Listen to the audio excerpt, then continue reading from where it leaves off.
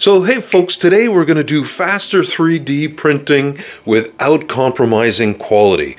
But before we do, I want to say a big thank you for getting over a thousand subscribers. I really appreciate all the comments, questions, and the encouragement. It's definitely a work in progress, so thank you so much. So if you want faster prints and better quality, hit that subscribe button. So let's get started. So you may have seen these bottles recently in the Faster Z offset. Well, they're not printed to size, but this one is. And I was curious to see if the cap would thread well onto the container, which it does, which is awesome. I inspected the threads, but this was going to take over three hours to print. I really wasn't interested in wasting three hours, so I made a few adjustments to it, and I'm going to share those adjustments with you today. It does not include speeding up the stepper motors. The more you speed them up, the more momentum you create, which of course creates vibrations, which will impact your quality.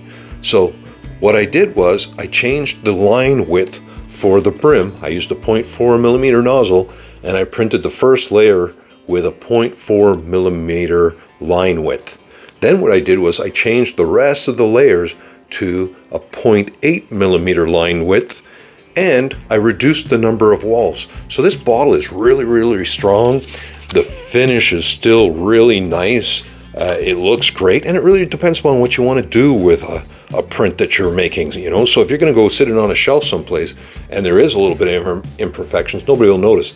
Not that there's any with this. It looks dynamite. It came out fantastic. This is something that you can do no matter which slicer it is that you're using, is go in and adjust the line widths, adjust the infill percentage, and control the number of lines. Okay, so have a look at my quality uh, that I printed, okay? So I printed those letters. They are attached individually to the bed, no glue, okay? And what I did was I used 0.8 millimeter line width on this lettering no stringing, came out fantastic. I'm encouraging you to experiment with the line width. Maybe 0.8 is too much. Maybe it's a matter of going 0.6, so you'll you won't save as much time, but you will save some time. This should have taken four hours with the default settings, but because I put a 0.8 millimeter line width on it, it only took two hours and it came out dynamite. Try it out and let me know how it goes.